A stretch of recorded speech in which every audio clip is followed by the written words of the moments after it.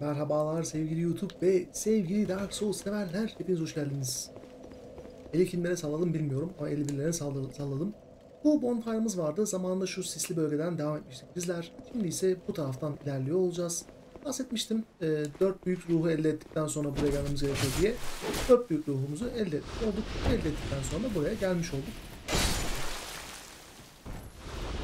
En son bölümde Drat'ın boss'unu kesmiş olmakla birlikte aslında e, artık öldürmemiz gereken e, büyük bir boss, büyük bir ruh vesaire kalmadı.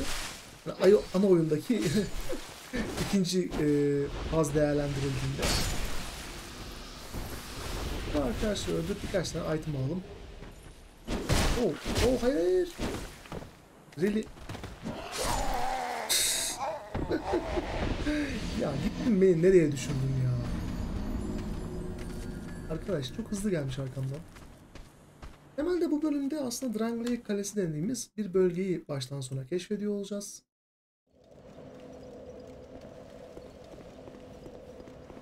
Orada da iki tane boss'umuz var. O iki boss'u aradan çıkartıyor olacağız.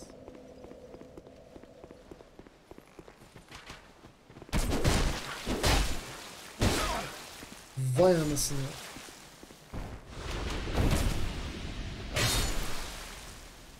Helal olsun. Gerçekten helal olsun. O kadar çok üst üste sağlayacaklarını hiç düşünmedim. Şu sağdaki arkadaş geldi aslında. Gel bakayım buraya. O kadar kovalamaz yani. İs- İstesem kovalamaz.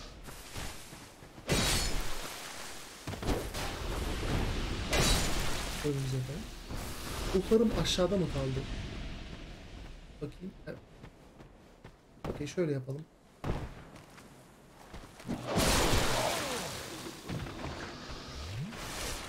Ruhları kaybetmek istemiyorum. Yani 15 bin ama 15 bin 15 bin lira arkadaş. Bonfire çok uzak değil. O yüzden hemen koştura koştura gidebiliriz bence. Bonfire dinlenebiliriz ama dinlenmemize gerek olacağını zannetmiyorum. O yüzden ne kadar takip edebilirler ki düşüncesiyle tekrar bu düşmanları ölmek uğraşma, uğraşmamak adına direkt buradan devam edeceğim. Gelirlerse de öldürürüz efendim. Nedir yani?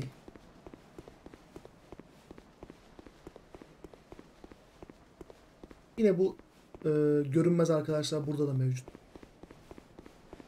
İş olsun diye bak geçiyor aslında. Hızlı mı saldırmamı istiyorsunuz? Buyurun beyefendi. Buyurun, hızlı saldırı bizde de var.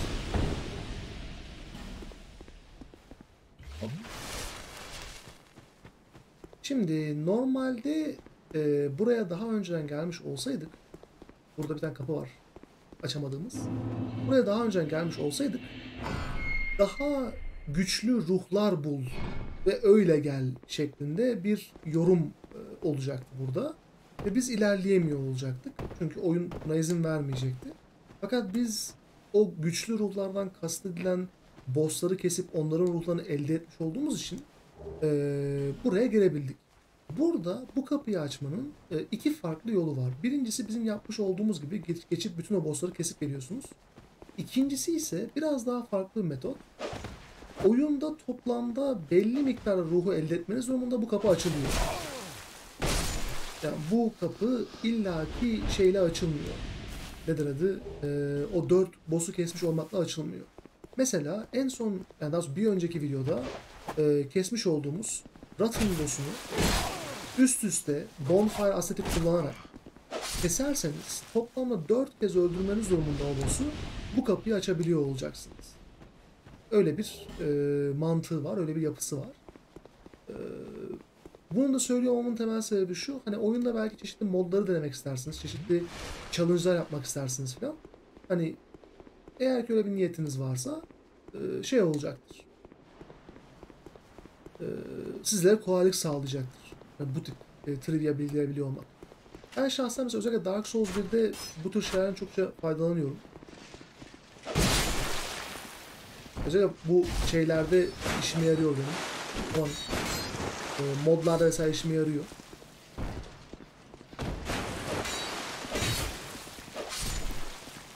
Bunlar hep artık oyunun başında karşılaştığımız düşmanların bir benzeri. Kendilerine burada da yavaş yavaş denk gelmeye başladık. Drangleic Kalesi benim çok böyle tasarım olarak beğendiğim bir kale. Geldik zaten kendisine. Bir şey merak ediyorum.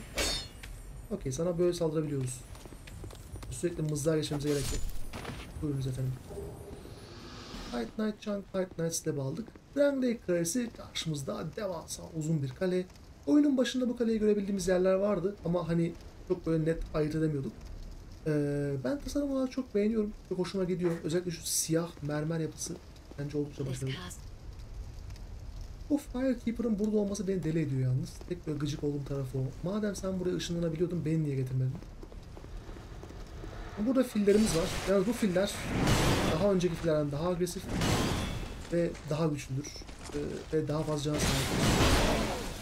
O yüzden mümkünse.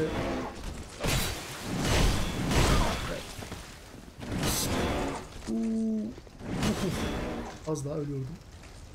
Mümkünse bunları hani dikkatli bir şekilde öldürmekte fayda var. Biraz fazla sanırsam es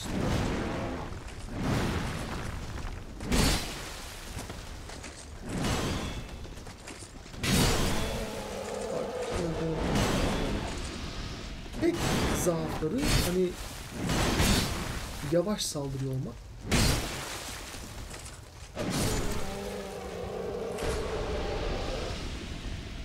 Onun dışında hiçbir eee, açıkları yok diyebilirim. Burada yeni bir tane mekanik öğreniyor olacağız. Mekaniğimiz şu. Solda ve sağda iki tane dev görüyorsunuz. Aslında taş heykel birer dev. Bu devlerin önünde duran vazoları veya kaseleri aktive etmek için bu devlerin yakınında düşman öldürmeniz lazım.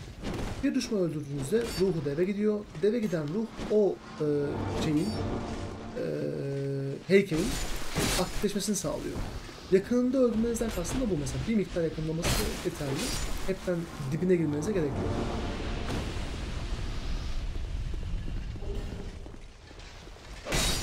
Oyun burada sürekli olarak bu kapıları açabilirsiniz diye şuradan sürekli olarak düşman spamlıyor.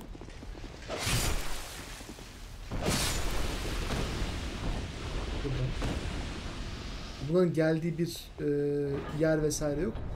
Siz kapıları açana kadar bunlar spamlanmaya devam eder. O yüzden hani herhangi birini açtıysanız birinin yanında durmanız yeterli. Elbet buradan geçip ilerleyebiliyor olacaksınız. Şurada NPC bir karakter var. Kendisiyle konuşun.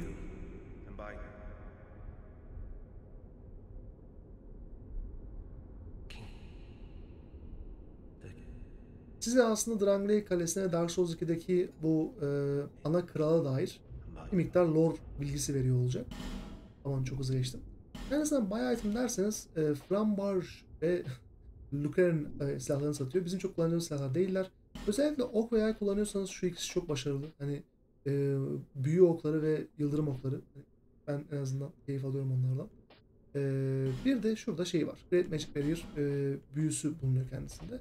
Yani belki Old Radiant Life Gem'ler al- alınabilir. E, faydası olabilir. Buradan ben sadece bir tane şundan almak istiyorum. 10 tane değil bir tane. Ee, olur da istemsiz şey yaparsam nedir adı? İstemsiz e, kılıçlarımı kırılacak seviyeye getirirsem faydalanabileyim o item'dan.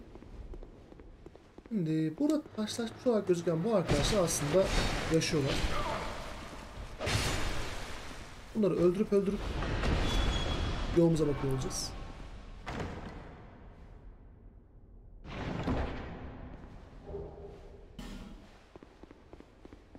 Burada bu sefer bu arkadaşı öldürdükten sonra şuraya geçip buradan ilerlemek daha mantıklı oluyor.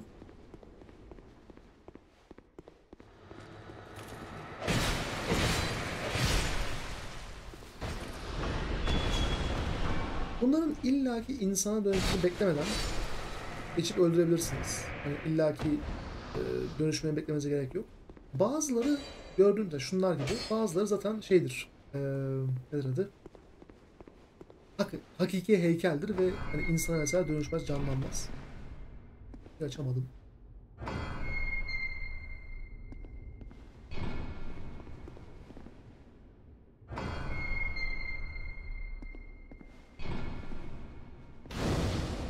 Burada aslında önemli bir bonfire'ımız var ve onu açmış olduk. Şimdi burada bir tane odamız var. Sağ tarafta. Sol tarafa gidemezsiniz şu an. Orada kapı açmanıza imkan yok. Ee, sağ tarafa gidebiliyorsunuz. Sağ taraftaki bu odada e, düşmanları öldürdüğünüz zaman buradaki belli başlı yeri aktive etme imkanınız oluyor. Mesela buraya gelecek olursam bu düşman bana gelsin.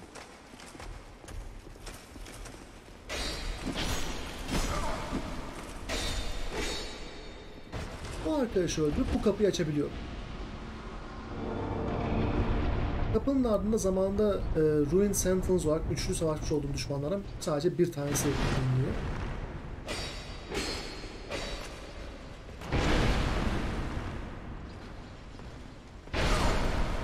Az daha beni öldürüyordu. Mesela o arkadaş ölünce bu devi aktive etmiş oldu. Bu dev mesela bu ortamı aydınlatmak için e, şey yapıyor olacak. Meşale kaldırıyor olacak gibi. Şimdi burada kapıların ardında, kimi kapıların ardında gerçekten işe yarayan itemler vesaire var. Kimi kapılar tamamen e, tuzak olarak bulunuyor. E, bizim aslında açmaya ihtiyacımız iki tane kapı var. Biri bu, biri de odanın diğer çaprazındaki kapı. Geri kalan kapılardaki itemler bizi ilgilendirmiyor. Bunun neden önemli olduğunu birazdan size değiniyor olacağım. O diğer kapıları açmamanızın haklısını aslında söylüyor olacağım. Buradan Farah armor setini aldık. Oyunun en güzel setlerinden bir tanesidir. Biz de kullanabiliriz. Belki kullanırız. Burada yine Dark Broker'la gitmek istiyorsanız bu arkadaşla karşılaşmış olmanız gereken üçüncü e, böl bö bölge var. Hop. Buraya yakalım. Yaktıktan sonra travel diyelim. Buradan bir önceki yaktığım bonfire'a geri dönüyorum. Çünkü oraya yani yukarı çıkmamın başka bir alternatif yolu yok. Şimdi bu kapıların niye hepsini açmıyorum? Temelde sebebi şu. Ben diyelim ki öldüm. Yani bir şekilde öldüm ve e, nedir adı? Tekrar bu bonfire'a geri döndüm. O zaman tekrar bu odayı geçmem lazım. Tekrar buraya ilerlemem lazım. Ama odadaki kapıların ardındaki bütün düşmanlar respawn olmuş olacaklar. Ve her kapının, bu kapı dışındaki her kapının ardında bir tane Ruin Sentinel var. O yüzden hani işiniz iş olur. Ee, benim o yüzden tavsiyem şey yapmayın. Hani kapıların hepsini açmayın. Sadece ikisini açın ve geri kalanları görmezden gelin. Geri kalanların ne olduğunu merak ediyorsanız, yani hangi kapının ardında ne var merak ediyorsanız e, onları şey yapabilirsiniz. E, diğer Türkçe oynanış FPS serisine bakabilirsiniz. Buradan yerden Frozen Flower e, şeyini aldık, anahtarını aldık. Bu da yine DLC yarışmak için ihtiyaç duyduğumuz bir anahtar. O yüzden olmazsa olmazlardan. Sizler de alın efendim.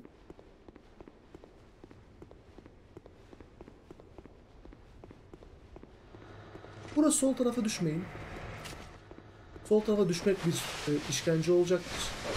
Çünkü o suyun içerisindeyken bütün envanteriniz kırılıyor. Yani daha önce bir benzer mekaniği görmüştüm. Orası o mekaniğin tekrar ettiği bir yer. Burada sevdiğim bir şey var. Onu göstermek istiyorum. Bu sandığı açarken bunlar saldırıyor. Aynen. Ama olduğunuz yerde durursanız hiç hasar yemiyorsunuz. Çok başarılı bir e, yani içerik.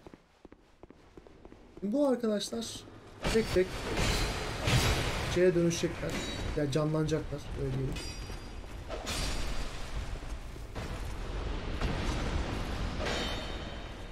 Bu olanın tek zor tarafı var. Şuradaki sağımda kalan e, resme yaklaşmamanız lazım. Resme yaklaşırsanız lanetleniyorsunuz. Ölmüyorsunuz da Dark Souls'daki gibi canınız alıyor. Resim aslında bu bölgenin kralının e, karısına ait yani kraliçeye ait bir resim. Şimdi buradan çıkarken Nameless Uspur resmini vermiş olduğumuz karakter bizi inme ediyor genelde. Bu arkadaş zamanında bizi kekleyen şey. Ee, ne onun adı? Ee, kapıyı açmak için gel dua edelim diyen arkadaşın kendisi. Çok rahat öldürebiliyoruz. Yani invade ettiği hali çok kolay ölüyor ama kendisinin gerçek hali çok zor. Arkadaşı öldüreyim. Şimdi bunları öldürdükten sonra şurada bu tarafa, karşı tarafa direkt atlayabilirsiniz. Ya da düşebilirsiniz. Düşerseniz tekrar bu merdiven yukarı çıkma imkanınız olacak. Bunun katkısı şu. Yanlış yerdeyim. In aşağıya. Bunun katkısı şu. Burada gizli bir tane duvar var. Duvarın arkasında bir tane bonfire var. Yani boss'tan önceki bonfire olduğundan dolayı burayı yakmakta fayda var. Ama bu gizli duvar gerçekten bence bulması en zor gizli duvarlardan bir tanesi yani. Hani eee, denk gelen biri olduysa helal olsun derim yani açıkçası. Az önceki kraliçeyi burada görme imkanımız var. Kendisiyle böyle diyalog verebiliyoruz. Kendisi tamamen yani bizimle dalga geçiyor aslında. Bizi manipüle ederek eee, kendi çıkarları noktasında kullanmaya çalışıyor. Ben bir Fish'i kullanmak istiyorum. Burada geçip e, Bel Belclair'ı summonlayabilirsiniz. Bence hiç summonlamanıza gerek yok. Silahınızı bufflayın. Dünyanın en kolay bosslarından bir tanesine gidiyoruz. Hop. Şimdi Olay şu. iki tane Dragon Rider var. Sol üstteki ok ve el kullanıyor. Alttaki e, Halberd kullanıyor. Üstteki arkadaş aşağıya elbet iniyor. İndiği zaman üstteki çok çok daha fazla hasar alır. O yüzden indiğinde ona odaklanıyor olacağız. Yani bu da bayağı fazla hasar alıyor da o daha da bir fazla hasar alıyor olacak. Her zaman için bir miktar yuvarlanmaya yetecek kadar stamina bırakmaya çalışıyorum. Hani üstteki eleman indi. Gördüğünüz üzere hani hasarım bu. Vuramadım. Tamam. Az daha başarıyordunuz.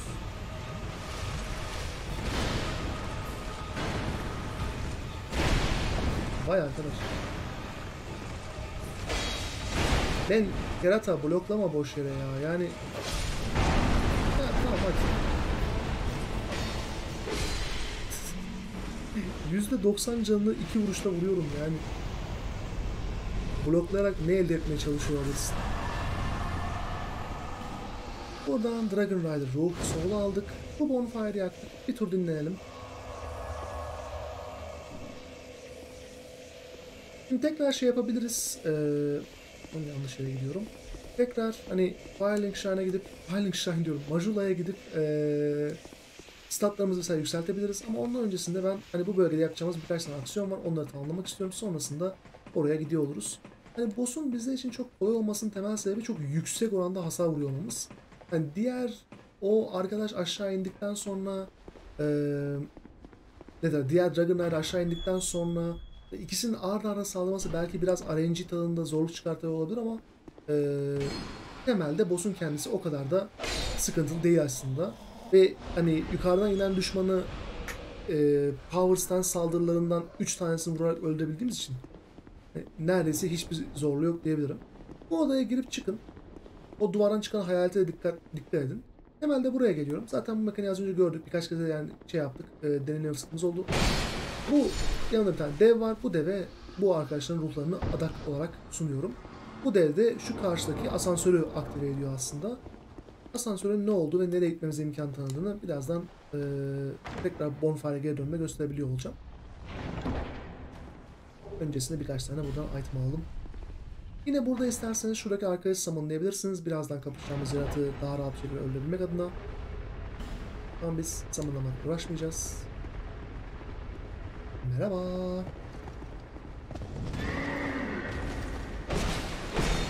Zamanın boss'u oldu size mob şu an.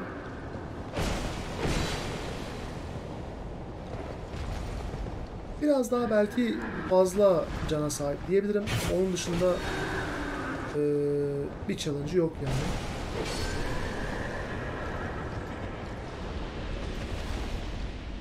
Kendisini öldürmüş olduk.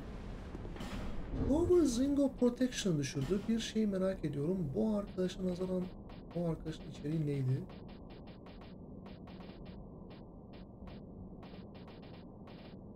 Şu. Yüzde mi from aynen okey. Şey biri bize backstab atacak olursa PvP'de vesaire orada kullanabildiğimiz bir içerik. Hatırlayamadım. Yani bizim bu elimizdeki Ring of Protection benzeri bir içerik mi acaba diye yapamadım. Ee, o yüzden bakmak istedim. Wow. Olmazsın diye düşünmüştüm. Şimdi buraya gelmiş olmanız şu karşıdaki düşmanın size gelmeyeceği anlamına gelmiyor. Ben bunu acı yoldan öğrenmiş bir insanım. Acı yoldan öğrenmeyen insanım. Şimdi burada yine mimik olan bir tane sandığımız var. Mümkünse kendisine bir, bir tane vuracağım. Aslında üçüncü vurmak isterim ama stamina yetmeyecekmiş gibi geldi. Kendisini öldürüyorum. Bu arkadaşı öldürünce Washing Pole e, alma imkanım oluyor. Daha önce hani Washing Pole almıştık ve oyundaki en uzun katana olduğundan bahsetmiştim. Hani iki tane devasa uzun katana kullanarak oyunu oynamak isterseniz kullanabileceğiniz bir içerik. E, keyifli olabilir, değişik bir içerik olabilir. PvP'de özellikle insanlar sizi görünce arkadaş millet çıldırmış ya şeklinde bir tepki verebilir. e, deneyebilirsiniz yani. Hani keyifli olabilir. Ne yalan söyleyeyim. Diğer tarafta bizim bir işimiz yok. Çarpı şu olacağız. Şimdi burada iki tane Pyromancer var. Mümkünse bu arkadaşların hani Pyromancer ölmeden kendilerini öldürerek aslında eee sağlamak istiyoruz.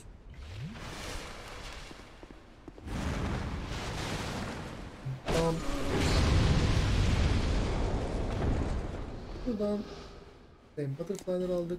Sen bir şey düşürmüşsün. Daha güzel. Kendi kullanmakta olduğu şeyi düşürdü. Hop. Bakalım. Oradan Estes şartımızı aldık. Sonrasında şu kolu çekiyorum.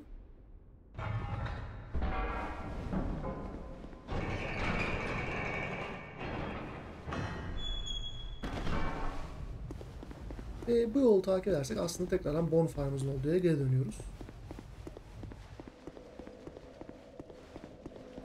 Şimdi Majula'ya gidiyor olacağım.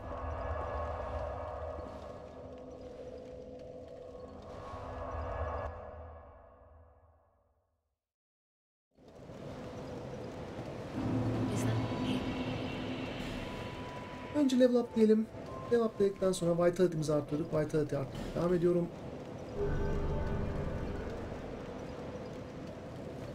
Daha sonrasında bir tane bulduk. Onu teslim edelim. Başka bulma, bulmalısınız aynen. Sonrasında bunun denelim. Burn diyelim. Sublime Bone Dust yakalım bir tane.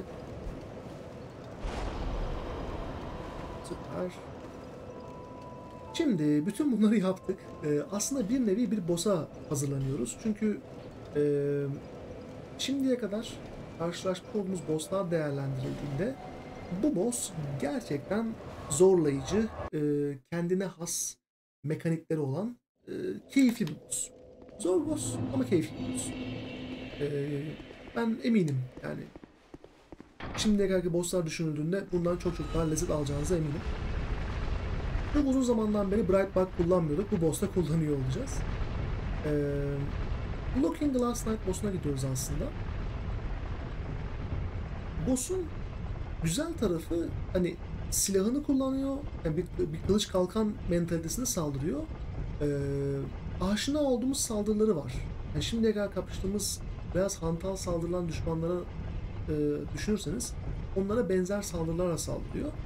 Ama e, boss'un saldırı tabii ki daha fazla can yakıyor ve e, boss'un aynı zamanda e, elindeki kalkandan yeni düşmanlar samınlama gibi bir özelliği var. Ve ikinci fazında silahıyla saldırırken silahının saldırılarına ek olarak e, nedir adı? Büyüler de ekleniyor. Buradan almış olduğumuz bu anahtar sayesinde boss'a erişebiliyor olacağız. Buradan yine bir tane sol vessel aldık.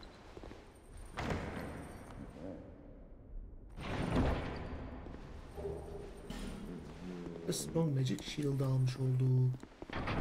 Tekrar aşağı iniyorum. Yani bo- hızlı inmek istiyorsanız Homeward Bomb bir seçenek. Ee, böyle yavaş yavaş da inmek mümkün. Hani uzun bir yol değil bence. Ee, Boss'taki temel taktiğimiz şu. Kalkanının değil de e, silahının olduğu taraf tarafta durmaya çalışacağız. Yani sağ arka tarafında özellikle kalmaya çalışacağız. E, boss silahını savururken her zaman için e, silahın önünde durmayacak şekilde yuvarlandığımızda da yuvarlandıktan sonra ayağa kalktığımızda da silahını savurduğu yerin önünde durmayacak şekilde yuvarlanmaya çalışacağız. Ve mümkünse hani e, boss e, şey yaparsa eğer e, kalkanından bir düşman samınlarsa mümkün olduğu müddetçe önce o düşmanı öldürüp sonrasında boss'u öldürmeye çalışıyor olacağız. Burada yine canlanacak olan bu arkadaşlar var. Bunlar gerçekten çok yüksek oranda hasar vuran düşmanlardır. Hani bunları e, ne hafife alın ne görmezden gelin. Boss kapasıyla önünüzdeki en büyük e, engel bunlar yani. Çok keyifli atraksiyonlu saldırıları var bence. Hani gördüğüm sadece özellikle az önce. Hani alıyor, tekme atıyor, zıplıyor, yuvarlanıyor filan. Jackie Chan'in böyle elinde mızrak olan versiyon tadında bir hali var arkadaşlarım. Ama e, biraz fazla uğraştırdıkları için ne kadar keyif alacağınız bir içerik bundan emin değilim. E, ben genellikle mümkünse kendini fazla gör, fazlaca görmezden gelip ilerlemeyi tercih ediyorum. Yine burada dilerseniz bu olsa bakalım Ashen Knight boylu summonlayabiliyor olacaksınız. Biz şayet summonlanıyor olacağız. Şimdi Bright Bug'ları hatırlarsınız. Bunları uzun zamandan beri kullanmıyorduk. Bir kullanalım. Bir kendimizi bufflayalım. Kendimizi buffladıktan sonra bir de silahımızı bufflayalım. Ve girelim boss fight'ımıza. Her zaman için şu saldırıyla başlar. Bildiğim halde yuvarlanamadım. Şimdi dikkat edin hani şimdiye kadarki düşmanlara vurduğumuz hasara nazaran kendisine o kadar fazla vurmuyoruz. Az değil vuruşumuz yani hasarımız kesinlikle az değil. Yani birçok yıldan nazaran hani şu anki yıldımızın hasarı çok çok daha fazla. Ama hani boss'un aldığı hasarı ifade edebilmek adına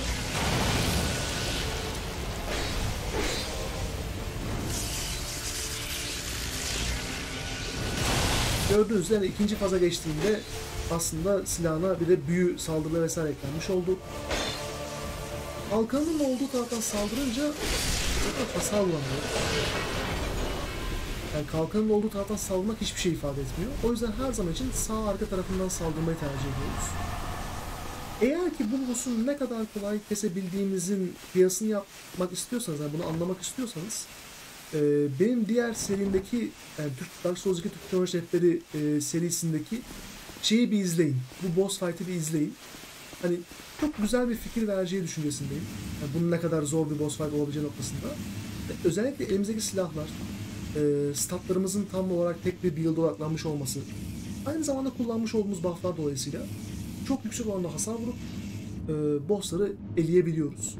Ama inanın birçok build, e, birçok böyle e, yeni oyuncu bu kadar rahat boss'u geçemez. Yani YouTube'dan vesaire böyle tepkileri vesaire izleyebilirsiniz. Çok keyifli tepkiler var. Ben özellikle böyle kes, kestiğim bossları e, ilk oynadıktan sonrasında e, izlemiştim. Oldukça başarılı e, şeyler var. Nedir adı? E, tepkiler var yani başka yayıncıların vesaire. E, kesinlikle tavsiye ederim. Şimdi yeni bir bölgeye geldik. Bu bölgeyi aslında bir sonraki videomuzda takip ediyor olacağız. E, bu bölge oyunda benim birçok kez Rage Quit attığım bölgelerden bir tanesi. Benim e, Twitch'teki yayınlarda bayağı böyle saçlarımı yolduğum e, bölgelerden bir tanesi. Shrine of Amana bölgesindeyiz. Biz bu bölgeyi çok daha rahat bir şekilde tamamlayabiliyor olacağız. Bir aksilik olmazsa çünkü ihtiyaç duyduğumuz itemlar burada çok az sayıda var. E, dolayısıyla her bir item'i lootlamak derdinde olmadığımız için ve gittiğimiz yolu bildiğimiz için e, hızlı bir şekilde burayı tamamlayabiliyor olacağız. Ama yeni başlayan arkadaşlar için tavsiyem hani özellikle yavaş yavaş oynayın burayı. Mümkünse hani e, yani böyle sinirleriniz falan bozulmuşsa ara verin. E, gerçekten insanı çok rahatsız eden bir bölge. Hani inanın ben halinizden anlıyorum. e, bir aksilik olmazsa bir sonraki videomuzda bu bölgeyi komple tamamlayıp bitiriyor olacağız. Orada görüşmek üzere. Kendinize iyi bakın.